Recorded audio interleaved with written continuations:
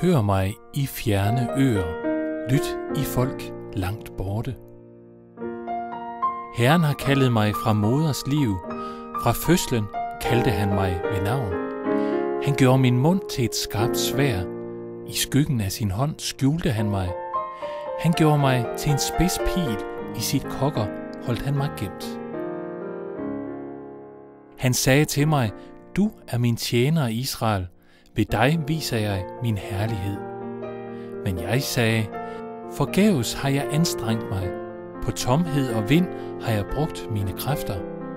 Dog min ret er hos Herren, min løn er hos min Gud. Men nu har Herren talt, han som har dannet mig fra moders liv, til sin tjener, for at føre Jakob tilbage, så Israel samles hos ham. Jeg bliver agtet i Herrens øjne, min Gud bliver min styrke. Han sagde, det er ikke nok, at du som min tjener skal genrejse Jakobs stammer og føre Israels overlevende hjem. Derfor gør jeg dig til et lys for folkene, for at min frelse skal nå til jordens ende.